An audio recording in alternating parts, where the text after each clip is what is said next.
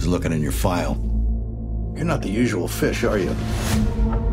I see that sort of behavior as an advantage for you. It could be advantageous to everyone, including your country.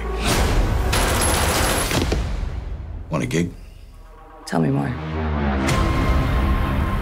We kidnap people and transport them to other countries willing to look the other way while we interrogate them. What do you want? Do you know this guy? He's radicalizing young kids. You got a 20 on the target. You know what's required. Get your hands dirty. No restraints. Target secure. The clock is ticking. Somebody is really aching for this guy. There's something they're not telling us. I'm just a foot soldier. They don't tell me anything. The more we know, the more we're accountable to. Our mission is to keep the wars small, the sacrifices meaningful. Just because you're American doesn't mean your colleagues share the same goal as you. We have a problem.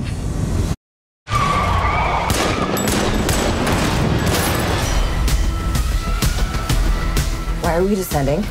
There's been a major shift. I'm pulling the plug. That guy knew we were coming. It's definitely a trap.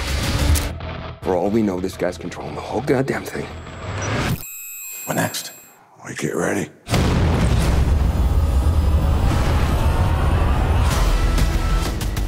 All I know is control and orders. There's some bigger picture we're not seeing. No matter how messy this gets, I'm not your enemy. You play a complicated game. Allegiances change. We're officially in cleanup mode. It's time for plan B. So what's plan B? Kill them all.